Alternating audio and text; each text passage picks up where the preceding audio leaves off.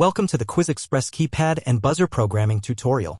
In this video, we will guide you through the process of programming a keypad for your QuizXpress quiz. Please note that when you receive a kit with keypads or buzzers from us, it's not necessary to perform these steps as equipment is pre-programmed out of the box. When you want to change the ID because you want to replace a broken keypad or buzzer, for example, you can use the device programmer. Let's get started. First, connect the cable to the receiver.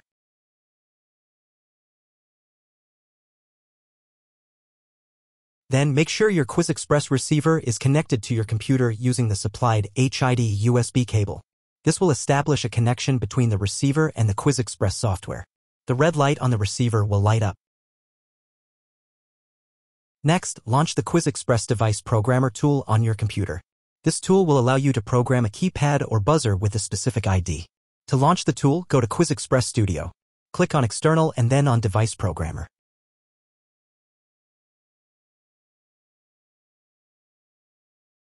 Now that you have launched the QuizXpress device programmer tool, we can begin using it. In the receiver drop-down, select the receiver for the hardware you are going to program. Make sure you select the correct one depending on your type of equipment. Press the Connect button to connect the receiver. A green check mark should appear in the tool. Now enter the desired ID number for your keypad or buzzer in the keypad to set field of the device programmer tool. This ID will uniquely identify your keypad or buzzer during the quiz. Once you've entered the ID number, click on the Set button in the Device Programmer tool. The yellow light on the receiver will light up to indicate it goes into programming mode. Now, only while the yellow light is on, which is for a couple of seconds, press both the hand and B buttons on the keypad and release the buttons. You cannot program a keypad if the yellow light is off. This will program the keypad with the assigned ID. A green checkmark will appear in the keypad programmer and the green light on the top left of the keypad will flash. After programming, press any button on the keypad. The device programmer tool will show you the ID of the keypad and the press key on screen. This confirms that the keypad has been successfully programmed. For the dome buzzers, the steps are similar. Connect the receiver. Select Buzzer Receiver in the drop-down on top and press Connect.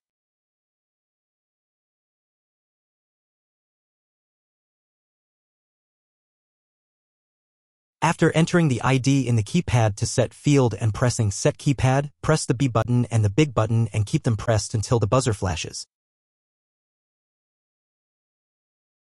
The buzzer is now programmed. Wait for the green button to stay lit and press it to see the confirmation of the ID of the buzzer in the device programmer. Please wait with programming the next buzzer until the yellow light on the receiver, which indicates it is still in programming mode, switches off again. For the torch buzzers, the steps are similar. Connect the receiver. Select Torch Receiver in the drop-down on top and press Connect.